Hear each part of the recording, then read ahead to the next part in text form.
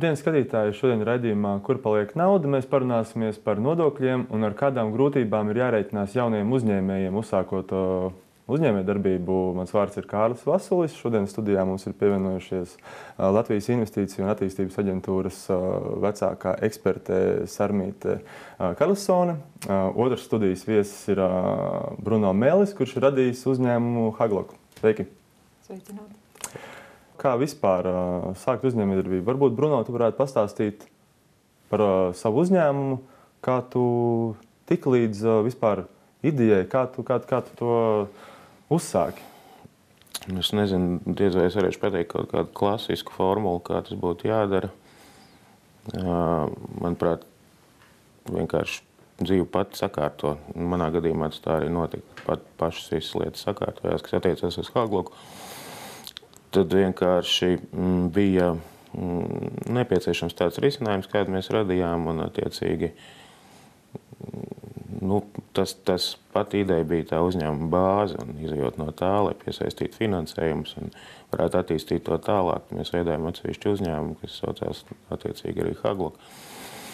Nu, kaut kā tas viss tā gāja uz priekšu. Es, eh, protams, biznesa plāniņš pamatā un tādas lietas, bet nu, cik tas ir inovatīvs produkts, tad eh, ļoti grūti kaut ko tur precīzi sarēķināt. Vienmēr viss iznāk mazliet sarežģītāk nekā mm -hmm. sākumā liekas. Bet, nu, ejam uz priekšu, jā, attīstamies, viss kārtībā. Pastāstiet nedaudz eh, par pašu produktu, ko jūs redzat. Nu, tā ir tāda mm, mm, savienojuma veids, tā kā furnitūra, varētu teikt, kas aizstāja skrūvi un līmeni naglas. Un ir noslēpts iekšā teiksim, pašā izstrādājumā, lai kas arī būtu droši vien vairāk orientēts uz mēbeļu rūpniecību un tādām lietām. Tā pozitīvā pievienotā vērtība ir uh, ārkārtīgi ātra un vienkārša salikšana un iespēja pēc tam izjaukt atkārtot vairākas reizes to izstrādājumu, lai kas tas arī būtu.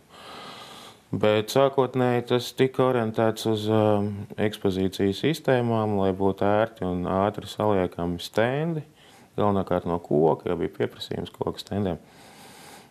Un tāds kaut kā arī attīstījās, bet uh, Hagloks kā savienojums aizgāja vienu ceļu, uh, vairāk mēbeļu virzienā, un savukārt viens paralēls tāds tā kā novirziens Haglokam izauga par atkal jaunu uzņēmumu, kuru varētu tagad nosaukt par startupu, kas, kur mēs piedāvājam tieši mākslas izstāžu apbūvi. Nu, tas mums ir divus gadus vecs uzņēmums, ļoti perspektīvs, ļoti ātri, strauji augošs. Nu, atkal, principā, tikai pieprasījums bija priekšnoteikums tam, kāpēc mēs to darām. Cik jums šobrīd ir liels apgrozījums? Um, Haglokam ir 200 tūkstošiem eiro, un savukārt tam Hagloka bērniņam ārtvēru servisam nu, mēs prognozējam, ka varētu būt kaut kur no 700 tūkstošiem līdz miljonam. Mhm. Vai iezīmēt skaidrāk bildi, cik darbinieku šobrīd ir? Haglokā mēs esam trīs, un Artfire servisā pieci kopā tādi pilnlaika darbinieki. Bet, nu, tā izstāžu būvēšanas kompānija, viņi nodarbina ļoti daudz cilvēkus. Cik mēs būvējam tās izstādes visur Eiropā, un tiecīgi tad mēs grupējam komandas, kur tur cilvēki brauc uzbūvēt. Nu, tādās, tas ir no projekta uz projektu. Mhm. Ražojat uh, Latvijā? Latvijā, visu ražojam Latvijā, jā. Sarmītē, cik man zināms, jūs esat atbalstījuši Hagloku jau no paša sākuma? Uh, nu jā, varētu teikt, ka Haglok ir atbalstījis arī mūs, jo um, Bruno piedalījies ir, mūsu rīkotajos konkursos firmas noslēpums un ideja kauss. Un, un mēs esam īstenojuši inovatīvas uzņēmē darbības motivācijas programmu. Un, jebkurā pasākumā mēs vienmēr esam teikuši paldies gan semināru apmeklētājiem, gan konkursu dalībniekiem, jo mēs piedāvājam šo programmu, bet jaunie uzņēmēji, ideja autori ir tie, kas piepilda jebkuru šo Eiropas reģionālās attīstības fonda vai, vai mūsu veidoto pasākumu ar, ar, ar dzīvu saturu. Un, un ja nebūtu šīs atsaucības, ja, tad, eh, tad faktiski nu, ne, netiktu īstenot arī šī programma. Un, kā Bruno teica, ka nu, viss salikās soli pa solim, eh, šis atbalsts uzņēmēji darbībai es domāju, ir pietiekami liels un plašs, un katrs var kaut ko atrast. Bet uh, nevienā brīdī um, teiksim, Latvijas Investīciju attīstības aģentūrai vai jebkurai valsts pārvaldes iestādē, nu, es domāju, neviens nedomā, ka mm, uzņēmējdarbība ir ļoti viegla un, un, un uh, atliek tikai sākt, un viss notiks. Nē, tas ir uh, ļoti rūpīgs, smags darbs, soli pa solim, kā jau Bruno teica. Tātad, un, uh, Un man liekas, ka nu, iesaistoties vienā aktivitātē, atverās kaut kādas citas durvis. Un, un kā kopumā Latvijai, tā arī mazam uzņēmumam, nu, mēs esam jauna valsts. Un, Un, uh, nav cita ceļa, kā rūpīgi vienkārši iet un doties un kaut ko uzzināt. Un, jā, es ceru, ka mēs vēl parunāsim par visām tām iespējām, kas, kas jaunam uzņēmumam vai uzņēmējiem ir. Mm -hmm. Lai skatītājiem būtu skaidrs, Latvijas Investīcijas attīstības aģentūra tā ir valsts iestāde. Kas, uh, jā, tā ir, tā ir valsts uh, pārvaldes iestāde, un uh, mēs esam tiešā pakļautībā ekonomikas ministrijai. Un, uh, jā, esam uh, daudzu. Uh, Eiropas Savienības struktūra fondu projektu īstenotāji. Mēs varbūt neveidojam šo politiku, bet mēs viņu īstenojam, realizējam. Nu, es vienkārši nesaprotu, ko cilvēki gaida. Jāiet un jāprasa. Un tas dodas, nu, tas viennozīmīgi, ja mēs esam iz, nu, izmantojuši, nu, protams, ne jau visas iespējas, bet ārkārtīgi daudz resursu, kas tiek piedāvāts sākot no sākuma stadijā no biznesa inkubatoriem. Es nezinu, vai tāda vēl eksistē, bet nu, mūsu laikā bija. Būs. Līdz arī ar atbalstu tur tiešām pārdošanas eh, visādām misijām un ko tikai neizstādēm. Nezinu, jā, mm, var palūgt atbalstu un tas tiek sniegts, kāpēc to nedarīt, mm -hmm. nu, to vajag darīt. Vai piekritīs Armīnas iepriekš teiktiem, ka uh, uzņēmējdarbībā nav tāda viegla pastaiga? Nu, jā, bet par to tur, man liekas, nav īpaši jādomā. Nu, tur, Nav jau jēga koncentrēties uz grūtībām, vienkārši uz priekšu. Un, un viss. Es... Skaidrs, ka būs nepatikšanas. Tas ir skaidrs. Bet, nu, bet ir to vērts. Nu, bet, protams. Aizrautības, zināšanas un talants – tie ir tikai daži no veiksmīgas uzņēmējdarbības stāsta stūrakmeņiem. Visas šīs vērtības apvienot izdevies jaunietei no Kārsavas novada. Pirms trīs gadiem Gunta Nagle nodibināja savu uzņēmumu un jau divus gadus te veikta saimnieciskā darbība. Šūti un modelēti dažādi tērpi, galvas segas un aksesuāri. Zināšanas par modi un dizainu Gunta apguva Rēzaknē un Dānijā, bet grāmatvedības pamatus Malnavas koledžā. Gunta ir sava novada patriote, tāpēc, lai varētu darboties Kārsavā, aktīvi piedalījās un guva panākumus arī jauno uzņēmēju atbalsta projektu konkursos Laukiem būt un Step Up. Apvienoju biznesa zināšanas ar dizaina prasmēm, un reāli bija arī iespēja tā, ka startē dažāda veida projektos, Un tad tā arī aizgāja. Zināju, ka es gribu būt atpakaļ, nu, atgriezties atpakaļ mājās, gribu strādāt šeit. Tagad Kārsavā Gunta strādā savā modes salonā Lagu un atzīst, pasūtījumu netrūkst. Ņemot gan vērā projektu saistības, apgrozījumu pagaidām jāsaglabā daudz maz nemainīgu. Pieņemsim, ja ir kādi svētki, tad, protams, ka pasūtījumu ir vairāk. Tad, kad ir svētki pagājuši, tad pasūtījumu ir mazāk. Bet nu, kopumā tas vidēji ir mēnesī kaut kur ap 22 dažāda veida izstrādājumiem, kuri tiek šūti. Ja tie ir kaut kādi vienkāršāki, varbūt arī ap 30. Un vidēji tas mēnesī ir apgrozījums kaut kur plus mīnus ap 1000 eiro. Tomēr, neskatoties uz iespējām piedalīties projektu konkursos un gūt līdzfinansējumu ideju īstenošanai un iekārtu iegādēji, Gunta uzskata, ir nepieciešamas izmaiņas valsts nodokļu politikā, vismaz sākotnējā uzņēmuma izveides posmā, ieviešot lielākus nodokļu atvieglojumus pieņemsim jaunam uzņēmējam pirmos divus vai trīs gadus, vai vismaz pirmo gadu, kad viņam būtu mazāki nodokļi, vai varbūt pat vispār nebūtu jāmaksā. Varbūt um, gada ienākuma nodokli varētu, teiksim, um, ne jau valstī maksāt, bet atstāt tieši priekš paša uzņēmēja, lai viņš liek viņu vēlreiz apgrozījumā, tā kā paplašinās, un ne jau gluži būtu jāmaksā atpakaļ valstī. Gadu no gada pieprasījums pēc kvalitatīviem šūšanas pakalpojumiem Latgalē palielinājies, tāpēc Gunta pieņēmusi lēmumu sadarboties ar vēl vienu savu novada modes un dizaina nozares entuziasti. Šajā gadā, ņemot vērā to, ka bija tieši no Kārsavas iedzīvotājiem interese pēc apģērbu labošanas un pāršūšanas, Tad viena meitene strādā tieši uz apģērbu labošanu, pāršūšanu, lai gan viņa strādā pati uz sevis, viņa nomāca pie manis telpas. To, ka jaunieši arvien vairāk novērtē iespēju strādāt savā dzimtajā pusē, pierāda arī Kārsavas novada pašvaldības jauno uzņēmēju biznesa ideju konkursa step-up rezultāti. Vietējie jaunieši kļūst par mairažotājiem un lauksaimniekiem, gan arī darbojas radošajā un kultūras sfērā. Gunta uzsver, iesācējiem uzņēmē darbībā svarīgi gūt atbalstu arī no ģimenes, kā arī nepārtraukti papildināt savas zināšanas un prasmes. Un ir jābūt tādam um, kā latviešu pateikt, fleksibli. Viņam jā, jāprot manevrēt dažādās situācijās, jo tas viss iet tik strauji uz priekšu, ka tu nekad nevari zināt, kas tev būs rīt. Tev jāprot izdomāt kaut kas jauns un vēlreiz, un atkal no jauna, un tādā veidā tikai virzīties uz priekšu. Tajā situācijā, kāda mums tagad ir Latvijā, ka, nu, tagad, nu, saka, tā, ka sāk rosīties vairāk cilvēki un viņi sāk darīt kaut ko savu, mēs redzam, ka tiešām nav nemaz tik traki. Tad es domāju, ka ir jāriskē un jāmēģina. Un it īpaši, ja vēl ir tāda lieta, ka uh, kaut ko ražot, Par spīti formalitātēm, dažkārt nepietiekami labi sakārtotai valsts nodokļu sistēmai un izaicinājumiem, uzņēmējdarbībai Latgalē ir nākotne. Jaunieši ir dedzīgi un atraktīvi, viņus tikai maz drusciņi jāiedrošina, ir pārliecināta Gunta, kura cer, ka ar savu veiksmes stāstu iedvesmos piepildīt ieceres par sava uzņēmuma izveidi arī citus līdzcilvēkus. Tīri tehniski, juridiski reģistrēt uzņēmumu Latvijā nu, galīgi nav sarežģīti. Šķiet, ka tā nav tā sarežģītākā Cik lieta. Gribat reģistrēt uzņēmumus, tikai jau kāpēc tam ar to jātiek galā. Kam teiksim, tam jauniem uzņēmējiem, jauniem censoriem būtu vislielākā vērība jāpiegriež pirms tiek uzlikt tie gala paraksti uz, uz reģistrācijas dokumentiem? Nezinu, es teiktu, ja jau tas kaut kas tāds tiek darīts, tad ir zinām pārliecība un, un tāda iekšējo motivācija un iedvesma, ka tas ir tas ceļš, pa kuru ir plānots iet, un tur vajag daudz laika, visu enerģiju patiesībā tās ir lietas, ko nevar darīt starp citu. Vismaz nu, katrā ziņā man nekad nekas nav izdevies tā starp citu. Mhm. -huh. Un, uh,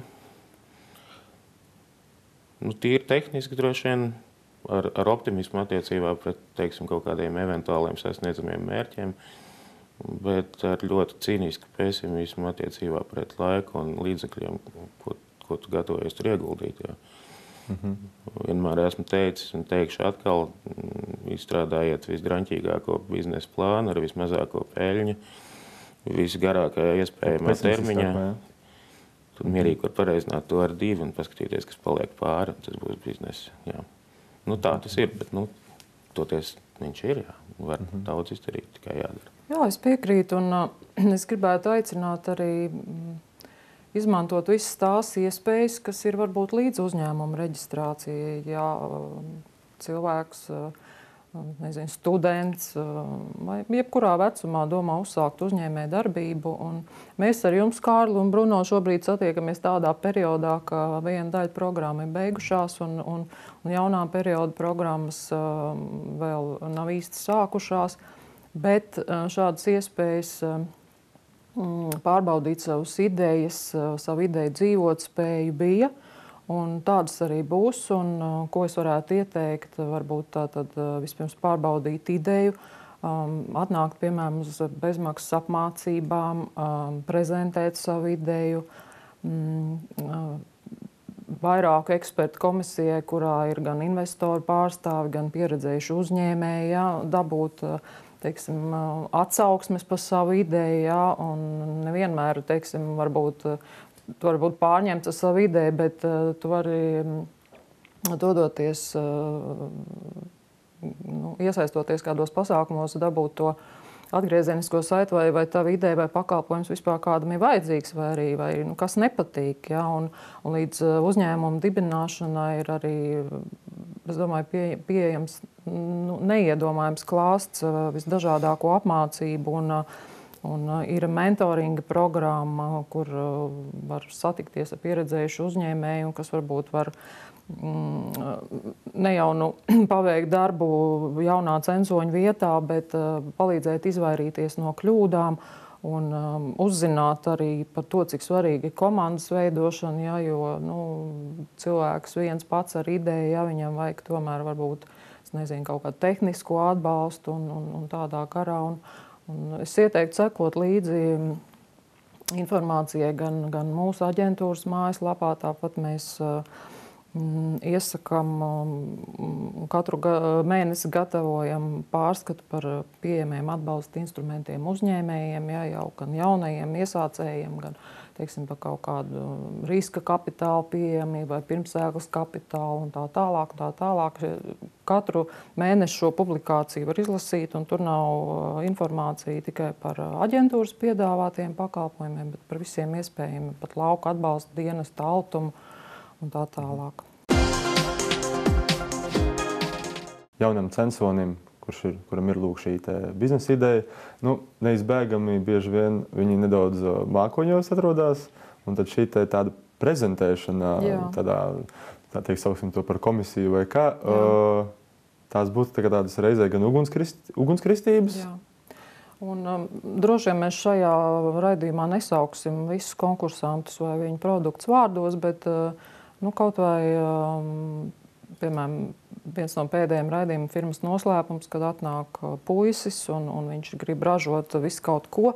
Bet tieši šis raidījums un eksperti, pieredzējušie un banku pārstāvi un, un, un, un biznesa cilvēki palīdzēja viņam nokoncentrēties uz vienu produktu, devu padomus, aizbrauc uz tirdziņu, patirgo šo savu produktu. Ja?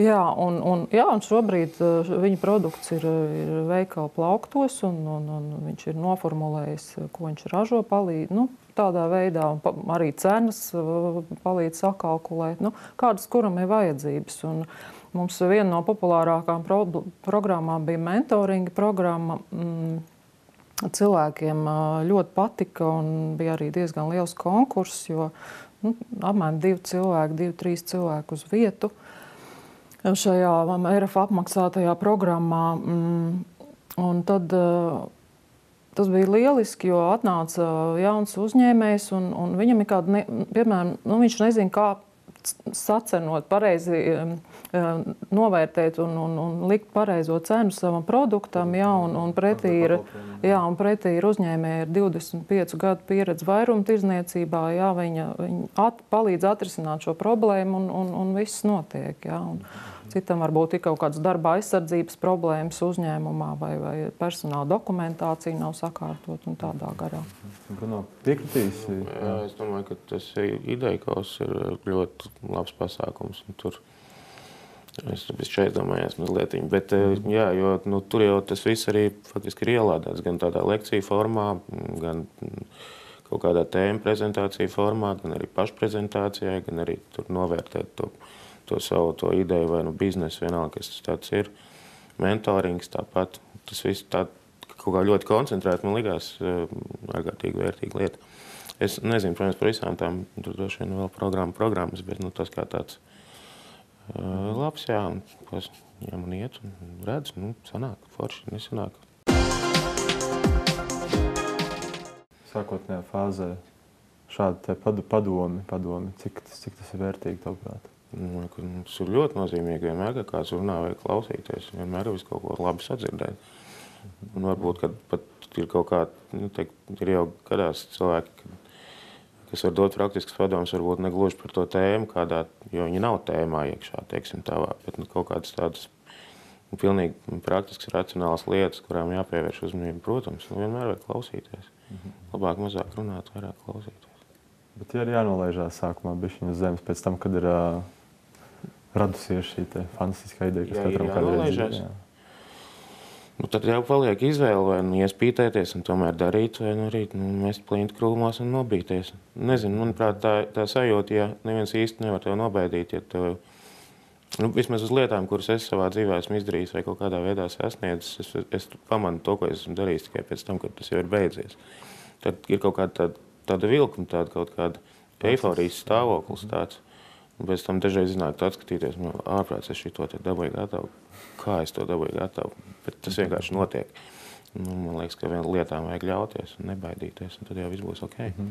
Atgriežoties nedaudz pie nu, uzņēmuma reģistrācijas, vai piekritīs, ka uh, pirms teiksim, nu, jaunais uzņēmējs iet uz uzņēmuma reģistru, vai ir uh, pirmo kaut kādu investīciju meklē, vai pirmā, pirmās darbības veids, pat varbūt vēl nereģistrējoties? Vai ir piekritījis, ka ir ļoti svarīgi saprast ar potenciāliem biznesa partneriem, tiem, kuriem kopā strādās, saprast, Nu, cik tad kuram ir tās daļas tajā uzņēmumā, cik tie procenti? Nu, tas skaidrs, jā. Uzreiz to, no, uzreiz Nu, to vajag. jā. nu, jā, nu, tā iznāk, ka tur tā kā lācis vēl mežā, un tu, tur viņi jau dīrā un dāli, bet, nu, ja, te, ja, tā- ja, ja jūs nonākat pie tā kaut kādā neposmā, tad tās problēmas, nu, kapitāla daļas ir privāti īpašums. Privāti īpašums Latvijā ir svēts. Ja jūs kādam kaut ko nebūsiet pareizi sadalījuši, pēc tam visu mūžu nožēlosiet. Mums labāk jau visu paturēt sev. Valmierā, līdzīgi kā citviet Latvijā, līdz šim jaunajiem uzņēmējiem atbalstu sniedz arī biznesa un inovāciju inkubators, bet tas šobrīd nedarbojas, jo beidzies Eiropas Savienības iepriekšējā plānošanas periodā piešķirtais finansējums, un arī valsts atbalstu inkubators vēl nav saņēmis. Tikmēr jaunie uzņēmēji pēc valsts atbalsta savu ideju realizēšanai lūko citur. 31 uzņēmējs par savu ideju konsultēties devies uz Latvijas attīstības finanšu institūciju Altumu. Bieži vien atnāk tikai ar ideju, un tad mēs viņu apstrādājam, sagatavojam šo naudas plūsmu un šo biznesa plānu kopumā. Brīžiem liekas, jā, ideja viss ir kārtībā, ka tur visam jānotiek. Tomēr tādā pašā laikā ir kaut kādas lietas, kas mums liek šaubīties. Bet svarīgākais ir tas, lai tam pašam uzņēmējam tā acis deg un ir šī lielā interese un vēlēšanās sakārtot arī dokumentālo pusi, un tad jau tā ideja aiziet. Koka kubula ar plastikāta iekšpusi, pudeļu turētāju un citi interjera priekšmeti no vecināta koka, transformējami velosipēdi, kas aug līdzi bērnam. Šīs ir tikai dažas no pēdējā laika veiksmīgajām idejām vidzemē, stāsta Latvijas attīstības finanšu institūcijā Altum. Te sniedz ne tikai finansiālu atbalstu jaunajiem uzņēmējiem, bet arī notiek pašu ideju izvērtēšana. Šim uzņēmējam tad jau sākotnēji jādomā, kāds būs šis tirgus realizācijas tirgus, kāds būs pieprasījums. Un būtiski jāpiestrādā arī pie izmaksu sadaļas. Jo viena no kļūdām ir šī, ka jau to produktu jau viņš redz, bet diemžēl šīs izmaksas, kas seko līdzi projektam, viņš neredz. Lai arī visbiežāk cilvēki meklē finansiālu palīdzību, šādā veidā nāks izvērtēt arī pašas biznesa idejas dzīvotspēju. Dzīve reģionā dažkārt paver papildu biznesa iespējas tām nozarēm, kas pārstāvētas tikai lielajās pilsētās un interesē arī lauku cilvēkus. Bet mēdz gadīties nonākt arī pie slēdziena, ka ideja dzīvotspējīga nebūs. Nenāk vairs tikai tirgotāji, kā bija iepriekšējos gados, un tīri pakalpojumu sniedzēji, bet nāk arī tieši ražotāji. Tieši ražotāji, kas ir jauni uzņēmēji, kur vēlas uzsākt kaut kādu jaunu ražošanu, kas iepriekš arī bija, nav bijusi Valmieras, teiksim, vidzemes šajā pusītē. Vairāk ir ražotāji, vairāk ir tādas lietas, kas ir tieši svarīgas tai pievienotās vērtības radīšanai, nevis tikai tīri pēc un pārdot. Daudz jaunie uzņēmēji savu darbību balsta uz jau kāda cita radītām biznesa idejām un pārdot ko cilvēkiem pazīstamu, bet nepieciešamu. Bet pēdējo gadu laikā iezīmējusies tendence radīt arī pašiem savas produktu idejas. Tās izvērtēt ir riskantāk, jo bieži vien nevar paredzēt patērētāja reakciju. Viņš meklē tirgu, pēta, vai tas produkts būs pieprasīts, un tad jau redz, vai tā. Tādējādi mēs pierādām šim cilvēkam arī to savu viedokli, ka šoreiz varbūt šī ideja nav īstajā laikā un īstajā vietā. Latvijas attīstības finanšu institūcijā norāda, ka, lai uzsāktu komercdarbību, ir nepieciešamas zināšanas par tā brīža situāciju, vai iecerētā prece cilvēkiem būs nepieciešama un vai ko līdzīgu jau nepiedāvā kāds cits. Sarmītē, mēs jau nedaudz aizskārām tematiku par to, kādas iespējas Latvijas Investīcija attīstības aģentūra piedāvā jauniem uzņēmējiem. Bet vai arī pastāstīt arī teiksim, par nākamo posmu, ne tikai par sākumu, bet arī teiksim, kā varbūt jūsu organizācija, aģentūra palīdz turpināt, turpināt biznesu, ne tikai uzsākt? Jā, es atvainojos skatītājiem, klausītājiem, ka varbūt nebūs ļoti liela konkrētība manā stāstā. Un aicināšu sekot līdzi informācijai gan mūsu mājaslapā, gan ekonomikas ministrijas mājaslapā. Un, uh, tiks pieņemti noteikumi un, un, un, un izsludināti konkursi un, un pasākumi. Un noteikti šī informācija skatītājus sasniegs. Uh, Arī nākošā posmā, jā, varbūt programmas ir aizkavējušās, bet ir arī labā ziņa, ja, tās tiks pagarināts attiecīgi par pāris gadiem. Un uh, būs iespēja ilgāk izmantot šos um, Eiropas Savienības struktūra fondu līdzekļus. Un, um, mēs uh, nākošā posmā īpaši mēģināsim pievērsties inovatīvām idejām un, un, un strādāt kopā vairāk ar, ar zinātniekiem. Un, uh, gribu pieminēt arī uh, Bruno jau teica, biznesa inkubātora programma būs. Jā, tā būs reģionos ar domu attīstīt uzņēmējdarbību reģionos un, un iesaistīt vairāk pašvaldības. Un, lai, lai teiksim, viņi vērtētu, kas viņiem vairāk nepieciešams. Un, tāpat domājam turpināt mentoringu. Un, un faktiski doma ir tāda, ka nu, ideja autors vai jauns uzņēmējs praktiski varētu saņemt nu, pilnu ciklu tādus pakalpojumus atnākot teiksim, uz savu biznesa ideju, ja, saņemot mentoringu pakalpojumus, apmācības par to, kā prezentēt savu ideju. Es domāju, ka mēs uh, turpināsim sadarboties ar, um, ar daudziem partneriem, ar kuriem ir bijusi veiksmīga sadarbība. Un, un ir šobrīd tāda nu, privāta iniciatīva kā Latvijas biznesa eņģeļu tīkls, ja, kur mēs nu, ar viņu atļauju, labprāt sekojam līdzi, kā teiksim, jaunais uzņēmējs, kas pie mums ir nu, izgājis apmācību kursu, kā viņam tālāk veids ar ideju. Un, un es domāju, ka tas mūsu mērķis ir panākt, lai vairāk būtu tādi uzņēmumi, varbūt nesaukšu atkal vārdā, ja, jaunu uzņēmēju, ja, kur, teiksim, iepriekšējā periodā viņi atnāca uz mentoringa programmu, tad, tad bija teiksim, apmācību kurs, kā prezentēt savu ideju. Um, investoriem, tad viņi saprata, ka, lai šis produkts būtu ļoti kvalitatīvs, jā, tika piesaistīta vesela virkne zinātnieku. Jā, un tad jau teiksim, viņi piedalījās arī Latvijas Investīciju un attīstības aģentūras rīkotajā konkursā eksporta un inovāciju balva. Tā skaitā tur arī rūpnieciskais dizains un, un, un tur dabūju šo balvu. Un, un, uh, bija laureāti, un tas ir atkal tāds papildus nu, tā bonus vai gods zīme, ko var izmantot savos mārketinga materiālos uzņēmēji. Un, un mēs atbalstam un ievietojam informāciju par uzņēmumiem katalogos. Un, šobrīd arī portālā mm, Lijā internetu vietnē tā tad ir speciāli izveidota Mm, portāls par visiem Latvijas produktiem, teiksim, jā, nu, cenšamies popularizēt. Tikko startēs arī um, jaunā programma starptautiskās konkurētspējas veicināšana. Tas jau ir varbūt uzņēmumiem, kas ilgāk darbojās un brauc uz izstādēm un, un, un tiek iepazīstinātas citas valstis ar mūsu ražotājiem, ar viņu, ar viņu piedāvāto produkciju. Es domāju, ka ka viena daļa tiešām ļoti aktīvi izmanto LIBE pakalpojumus, jo kaut vai atnākot uz kontaktbiržām, kas mums ir divreiz gadā, mums ir 21 valstī pārstāvniecība.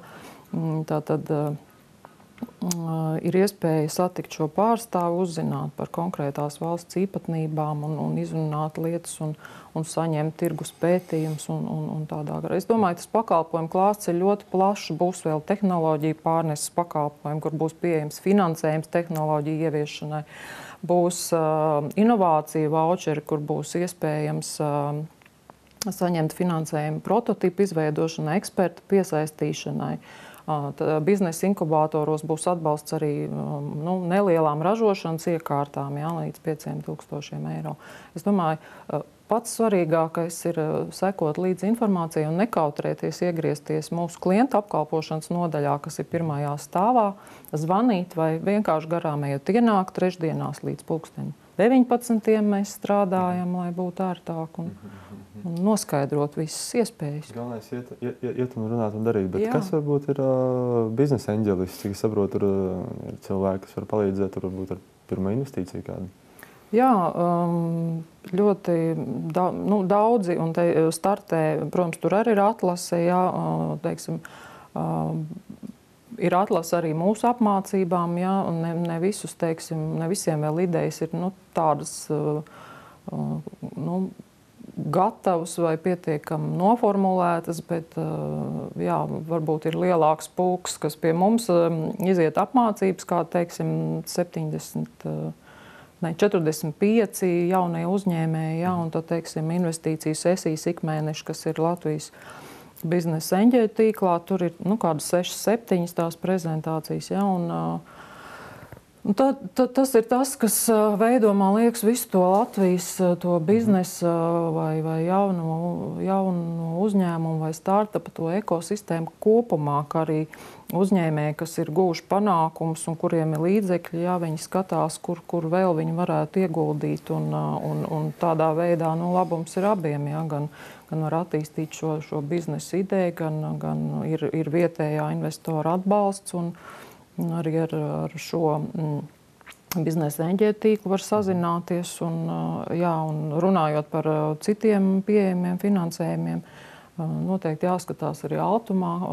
Būs mikro un, un, un, un, un pirmsēklas un vis, visda, visdažādākie kredīti. Jā, tā kā ir, mhm. ir tikai nu, jāinteresējas un vēl ir viena tāda svarīga joma, kā tīklošanās. Jā, bija arī diezgan populāra, un es domāju, mēs to turpināsim. Kad pa konkrētu jomu um, ir, ir tīklošanās seminārs, un cilvēki no sākuma tā atturīgi, bet uh, nu, pasaulē tas ir populāri. Jā, ka, jā, ka ļoti, ļoti ilgs laiks tiek pavadīts tādās sarunās, iepazīstot citus cilvēkus. Ir kāda tēma, jā, un lektors, bet pēc tam. Nu, Mēs tiešām ar prieku konstatējam, ka cilvēki nesteidzas doties vakarā mājās. Mm. Varbūt vēl pusdesmitos viņi turpina runāt, un viņi atrod kaut kādus biznesa kontaktus. Un, un tas ir lieliski. Jā, tas, tautā sauc par kontaktiem, nedaudz līdzīgai tematīvai vēlos pievērsties. Bruno, kā tev šķiet jaunam uzņēmējam, kurš strādā reģionā? Kādas varētu būt gal, gal, galvenie izaicinājumi, piemēram, nu, pil, pil, pilsētā, varbūt tālāk no Rīgas, vai tas būtu darba spēks, vai tas būtu? Grūti pateikt par reģioniem, bet uh, faktiski nu, droši vien tur ir kaut kādas pozitīvās puses un kaut kādas arī varbūt vairāk ēnas puses. Es pieņemu, ka iespējams varbūt ar darba spēku no otras puses. Jā, tā jau ir arī nu, liela iespēja tā, kā, tā reģiona attīstībai dot darba vietas. Un, nu, varbūt, uh, varbūt kaut kur zināmā mērā skaidrs, ka viss koncentrējās Rīgā. Viss, tomēr viss tā lielā biznesa aprite, kaut kāds viss tās mārketinga. Nu, tie, nu, es šādā aspektā tā īpaši neesmu domājis. Bet saprotams arī, ka reģioniem ir kaut kāds papildus atbalsts cits no Eiropas, nu, kas stimulē tā attīstību tajos rajonos. Nu, bet es domāju arī, ka eh, nav nekāda tieši problēma, jo Viss jau tāpat notiek attālināti. Mēs vairs mhm. neejam katru rītu kaut kur Rīgu, Rīgu var uzskatīt par uh, tirgu, kur uh, realizē to nu, savu produktu. Jā, protams. Nu, kā ļoti daudz un ārkārtīgi veiksmīgi un spēcīgi uzņēmumi reģionās. Mhm. Mums sadarbības partneri. Mhm. Lieliski viss notiek. Tagad uh, arī paskatīsimies sižetu par uh, jauniem censoņiem, uh, kur ir uzdrošinājušies uh, mesties uh, iekšā biznesā. Lielvārds novada uzņēmuma Lūšu draugu vēsturi meklējama ģimenes tradīcijās. Ar biškopību Lūšu ģimene nodarbojas jau vairākās paudzēs. 2013. gadā uzņēmējs Jānis Lūsis uzsācis biškopības produktu ražotnes izveidi. Šobrīd uzņēmums piedāvā savu produkciju vairākos veikalos un internetu vietnē. Kā uzņēmēja darbības forma izvēlētas SIA? Mēs gribējām iestartēt uh, Altumu uzņēmējdarbības atbalsta programmā. Jā, līdz ar to tur bija priekšnosacījums dibināt SIA. Jebkurā gadījumā, lai tu nodarbotos ar nopietnu pārtiks produktu ražošanu, tad nu, ir jābūt SIA īsti individuālais komersants vai kāda cita uzņēmējdarbības forma nu, neiet īsti cauri lai normāli varētu PVD pierģistrēties. Un, un, un, uh, tad, tad, tad bija tas, tā, tas uzstādījums, ka mēs gribam būt normāls SIA. Lūšu dravas darbība pieskaitām pie veiksmes stāstiem, taču uzņēmējs uzskata, ka valsts nepietiekami atbalsta tos, kur izvēlējušies sākt savu biznesu. Ir jādomā veidi, kā šo mazo uzņēmumu nenoslogot ar ārkārtīgi lielu birokrātijas slogu, ar prasību slogiem un nenoslogot viņu ar,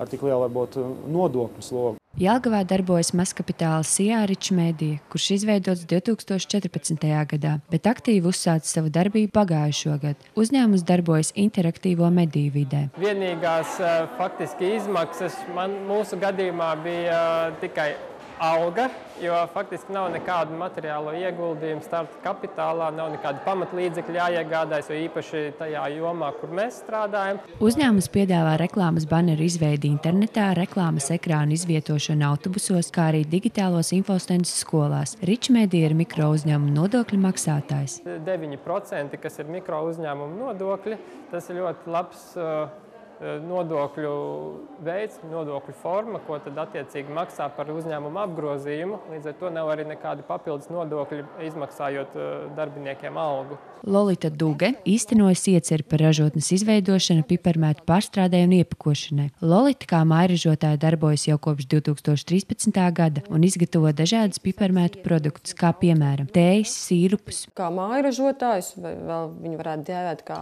individuālais komersants, kad uh, Tā ir uz, tāda forma, ar kuru tu vari paeksperimentēt un jā, tiešām izmēģināt.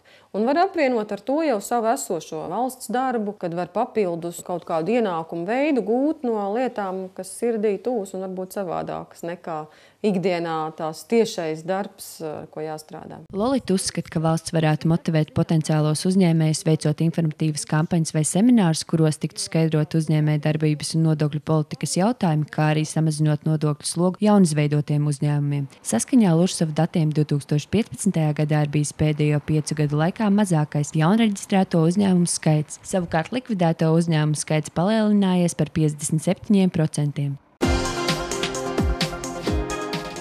Bruno, kas tavuprāt valstī būtu jādara, lai vairāk palīdzētu jauniem uzņēmējiem?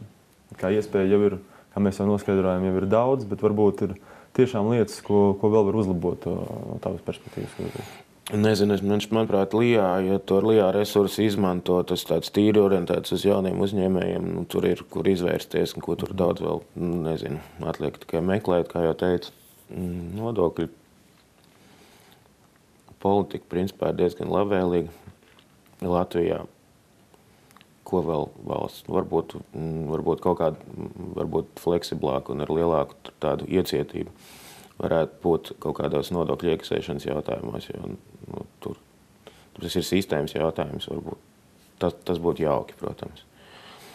Mm, Tāpat jau veidojas eh, kaut kādas uzņēmēja darbības vīdes, kur nu, kopējie bīroji vai valstī tur būtu valsts līmenī kaut kā jāiesaistās.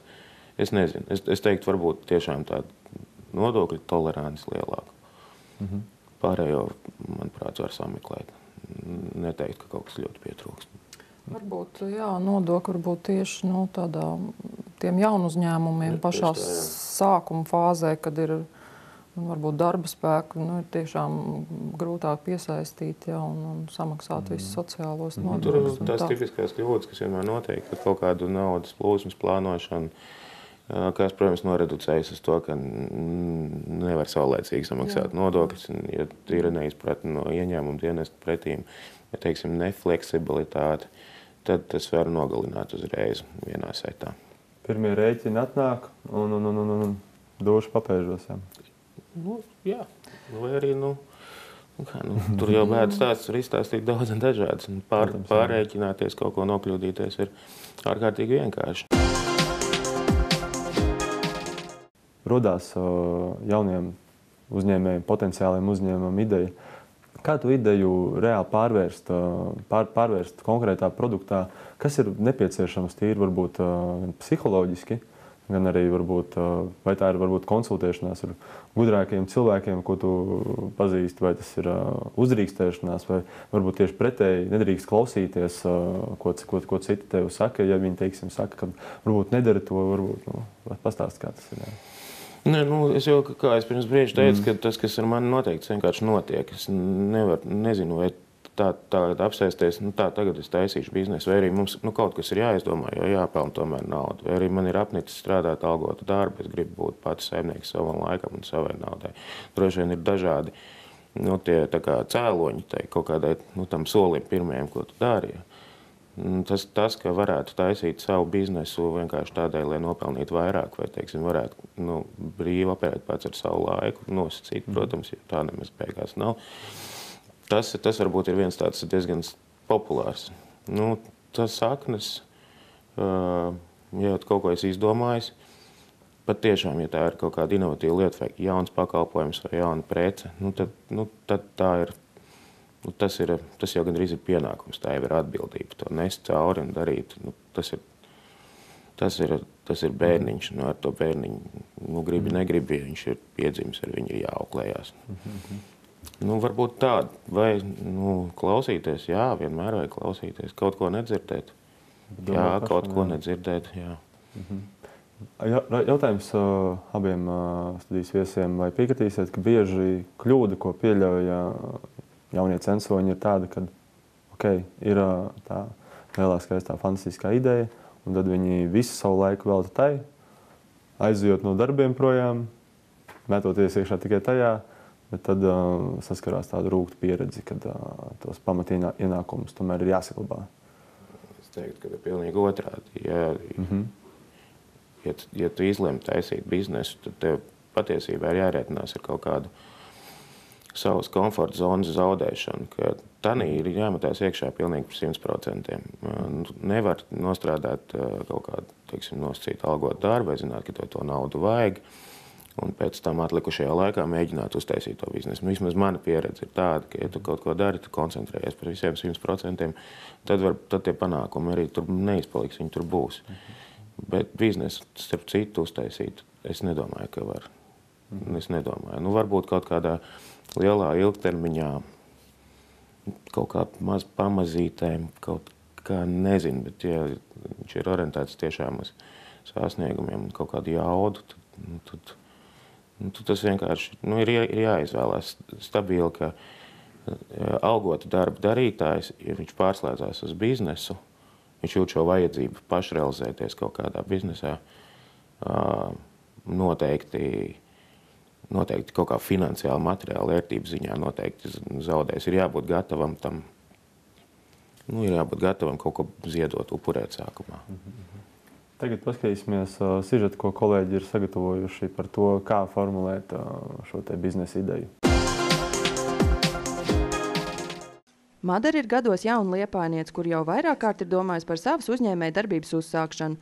Jaunieta brīvajā laikā darina rotas, kas jau ir pieprasīts ne tikai paziņu lokā. Lai izgatavotās skaistumlietas varētu piedāvāt lielākā apjomā veikalā, kurš darbosies interneta vidē un piedalītos iepirkuma konkursos, Madara nolēma dibināt savu uzņēmumu. Sabiedrība ar ierobežotu atbildību. Tāpēc viņi dodas uz uzņēmumu reģistru, lai noskaidrotu sevi interesējošus jautājumus par uzņēmumu dibināšanu.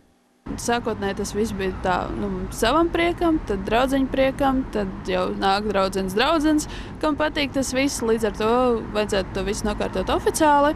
Uzņēmumu reģistra Liepājas reģiona nodaļas vadītāja Karīna Kaudze aicina vēl pirms pieņemt lēmumu par savu uzņēmumu dibināšanu konsultēties valsts ieņēmumu dienestā, lai saprastu, kur uzņēmuma forma būtu izdevīgāk. Vienkārši pašnodarbinātais, individuālais komersants vai sabiedrības ar ierobežotu atbildību. Ja izdevīgāk izrādās ir reģistrēties kā pašnodarbinātāja personai, tad to veids valsts ieņēmumu dienestā un uz uzņēmumu reģistru nav jādodas. Ja lēmums ir dibināt sabiedrību ar ierobežotu atbildību, pirms došanās reģistrēt uzņēmumu ir jāsagatavo iesniegšanai nepieciešams nepieciešamie dibināšanas dokumenti, proti pieteikums kapitāla sabiedrības ierakstīšanai komercreģistrā, dibināšanas lēmums, statūti, paziņojums par juridisko adresi un dalībnieku reģistra nodalījums. Plaša informācija un dokumentu paraugu pieejama uzņēmuma reģistra mājaslapā.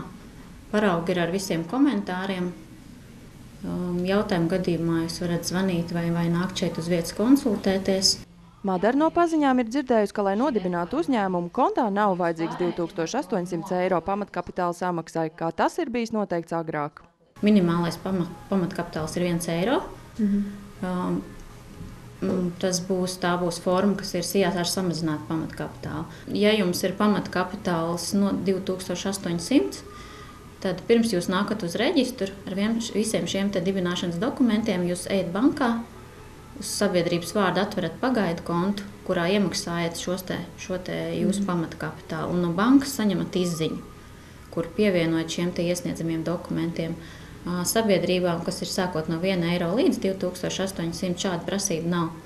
Pirmajā brīdī viss liekas gan sarežģīti, tādēļ bieži jaunie uzņēmēji vēršas kādā juristu birojā, kas par samaksu sagatavo iesniegšanai nepieciešamo dibināšanas dokumentu paketi.